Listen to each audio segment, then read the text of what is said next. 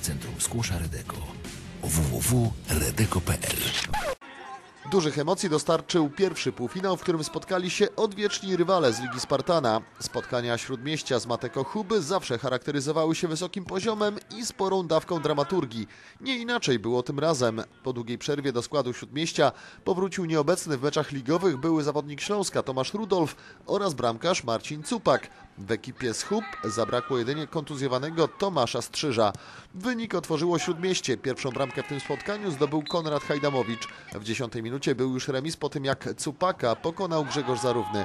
Potem o swoich umiejętnościach przypomniał Tomasz Rudolf. Czołowy gracz Śródmieścia przed przerwą strzałem z pola karnego znów dał prowadzenie swojej drużynie. Po zmianie stron Rudolf podwyższył na 3 do 1, tym razem po skutecznie wykonanym rzucie wolnym. Piłkarze Mateko nie składali jednak broni i emocje były do samego końca. W ciągu trzech minut zespół z Hub zdołał odrobić straty po dwóch golach Grzegorza Zarównego, w tym trafieniu z rzutu karnego. Losy meczu rozstrzygnęły się w 33 minucie. Bohaterem ekipy Śródmieścia został Michał Cupak. To właśnie on silnym i precyzyjnym strzałem z rzutu wolnego zdobył czwartą bramkę dla swojej drużyny. Zespół Mateko nie był w stanie już wyrównać i po wygranej 4 do 3 Śródmieście zostało pierwszym finalistą Pucharu Ligi. W drugim półfinale wicelider pierwszej ligi, zespół AC Polanka, zmierzył się ze zdobywcą Superpucharu Ligi Spartana, występującymi w ekstraklasie Szpilmacherami. Tu wyrównana walka była tylko do przerwy. Na bramkę Adriana Miedzińskiego pierwszoligowcy odpowiedzieli golem Jana Mikosia i po pierwszej połowie był remis 1 do 1.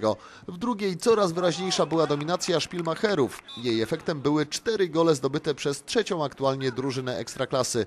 Łupem bramkowym podzielili się Adrian Miedziński i Marcin Grabowski, którzy uzyskali po dwa trafienia.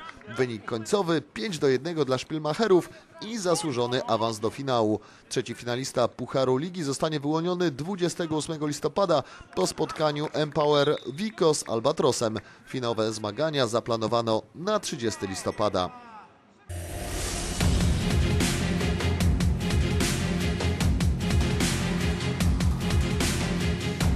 Nowe Centrum Skłosza Redeko www.redeko.pl